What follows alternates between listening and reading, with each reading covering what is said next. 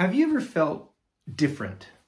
Like maybe you didn't fit in with your group of friends? That can feel funny. Sometimes that can even make us feel sad.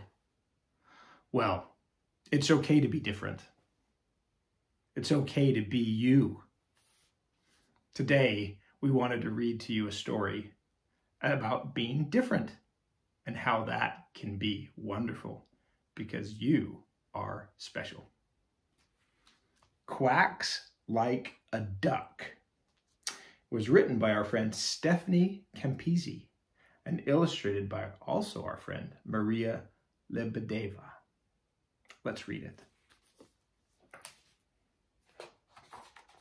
Quacks like a duck. Tonight was the night of the party. It was Petunia's first party since arriving from Australia. It had taken months to get over the jet lag and the lack of Vegemite. But Petunia was all set.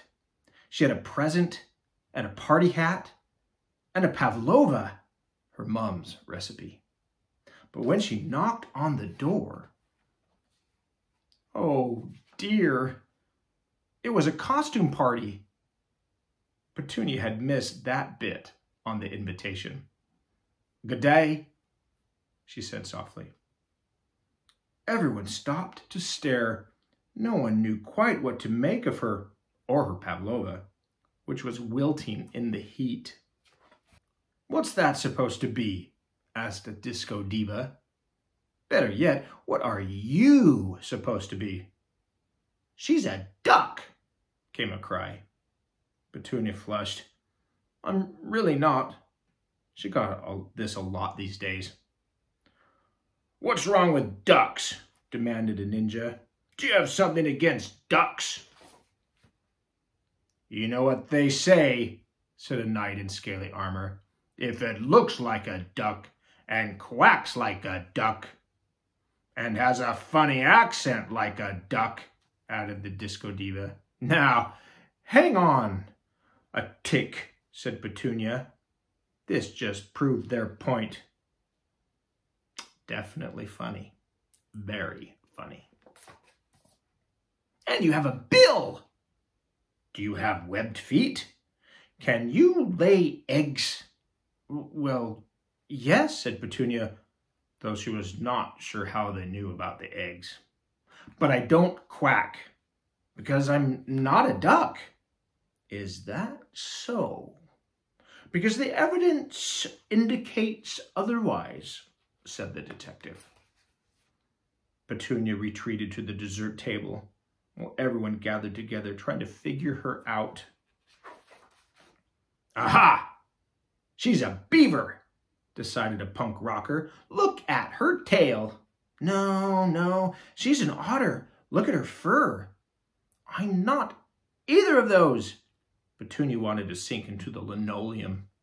Back home, it was perfectly normal to be a duck-billed, otter-footed, beaver-tailed, egg-laying, Frankenstein's monster! yelled a cowgirl. A very tall party guest wobbled into the room. It had a bill and webbed feet and a thick, fat tail and was carrying a plate of fairy bread. How rude, quacked the party guest. What you see is no monster, Frankenstein or other. We're a majestic platypus, a water-loving, egg-laying, fuzzy-wuzzy marvel of nature. Petunia blinked. She was a bit fuzzy-wuzzy. Do platypuses quack? asked the knight in scaly armor. Just the duck bit, quacked the platypus. Mm, that makes sense, said an artist. Did it really? wondered Petunia. So weird. There's nothing else on earth as weird as a platypus. Huh, said the punk rocker. Echidnas are, blurted Petunia. It runs in the family. Her echidna's cousins were weird, and much less fuzzy-wuzzy. That's news to me, said the platypus. One of the beetles turned to Petunia. You still haven't answered the question. What are you supposed to be? Petunia looked at the platypus. They'd worked so hard on their costume. She didn't want to steal their thunder. I'm not anything, said Petunia. I'm just me. Well, that's something, isn't it? said the disco diva. Petunia supposed that it was. The platypus took a bite of pavlova. You know, I have no idea what this is, and it looks really weird, but it's actually pretty great. Sometimes good things come in weird packages, said Petunia. The duck makes a good point, said the knight. I mean, look at all of us. He was right. Costume or no costume, Petunia stood out. But she also fit right in. Now, did you know that the platypus is definitely not a duck? Petunia is a platypus, a delightfully weird egg-laying mammal found only in the rivers and wetlands of Australia. Just like Petunia, the first platypus specimen examined by scientists caused much confusion and bewilderment. A hoax, they declared. They were wrong, of course. As Petunia jokes, platypuses and echidnas are indeed cousins and belong to an order of mammal called monotremes. Monotremes. monotremes not only lay eggs, but also feed their young with milk. And although platypuses are shy and therefore hard to spot in the wild, or at parties, many Aussies carry one in their wallets.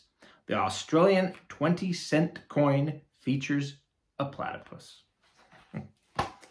we hope that you've enjoyed Quacks Like a Duck. Written by Stephanie Campisi and illustrated by Maria Lebedeva and published by Familius.